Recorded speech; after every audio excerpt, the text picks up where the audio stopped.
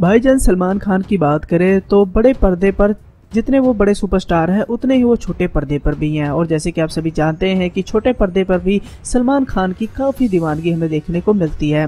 लेकिन ऐसे में सलमान खान के upcoming show big boss season तेरह को लेकर एक बड़ी खबर सामने आई है। जी हाँ हिंदुस्तान टाइम्स की खबर के मुताबिक बताया गया है कि सलमान खान इस बार इस शो को होस्ट करने के लिए 403 करोड़ रुपए की फ़ीस लेने वाले हैं। जी हाँ आपने सही सुना, हिंदुस्तान टाइम्स की खबर के मुताबिक इस बात की जानकारी दी गई है कि Salman Khan big boss season तेरह को होस्ट करने के लिए भारी भरकम रकम लेने वाले हैं और उनकी इस रकम को मेकर्स ने पूरी भी कर दी है। चार करोड़ रुपए की वो भारी भरकम रकम बिग बॉस सीज़न तेरह को होस्ट करने के लिए लेंगे।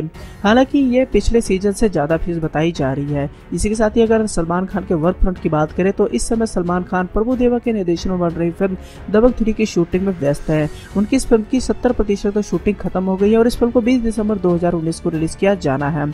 ऐसे में सलमान खान अपनी फ़िल्मों के अलावा अपने टीवी शोज़ को भी लेकर खूब सुर्खियाँ बटोर साल 2018 में उनके शो ने काफ़ी सुर्खियाँ बटोरी थी। ऐसे में बिग बॉस सीज़न 13 को भी लेकर काफ़ी क्रेज हमें देखने को मिल रहा है। सिद्धार्थ आनंद के निर्देशन में बनी फ़िल्म वॉर की बात करें तो ये फ़िल्म काफ़ी ज़बरदस्त साबित होने वाली है और जैसे कि आप सभी जानते हैं कि इस फ़िल्म को 2 अक्टूबर 2019 को रिलीज़ किया जाना है।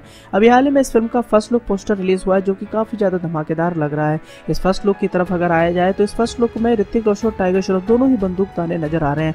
वही दूसरी ओर वाणी कपूर का इस पोस्टर में ग्लैमरस अवतार हमें देखने को मिल रहा है। लेकिन दोस्तों तैयार हो जाए क्योंकि फ़िल्म का ट्रेलर जल्द ही लोगों के बीच रिलीज़ किया जाना है। कोई भी बड़ी फ़िल्म रिलीज़ होने के एक महीना पहले फ़िल्म का ट्रेलर रिलीज़ किया जाता है, और ऐसे में दो अक्टूबर को वॉर फ़िल्म रिलीज़ हो रही है।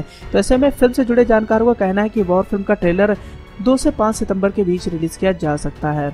साथ ही फ़िल्म का टीजर वीडियो और फ़र्स्ट लुक पोस्टर देखने के बाद फ़िल्म के प्रति लोगों की काफ़ी एक्साइटमेंट बढ़ गई है और ऐसे में फ़िल्म का ट्रेलर भी दर्शक देखने के लिए काफ़ी ज़्यादा बेसब्र चल रहे हैं। आपकी जानकारी के लिए बताना चाहेंगे, वॉर फ़िल्म का निर्देशन किए हैं सिद्धार्थ आनंद और इस फ़िल्म की शूटिंग सात देशों में कंप्लीट की गई है। वहीं पर इस फ़िल्म के निर्माता हैं यशराज फिल्म्स और इस फ़िल्म को 2 अक्टूबर 2019 को सभी सिनेमाघरों में रिलीज़ किया जाना है।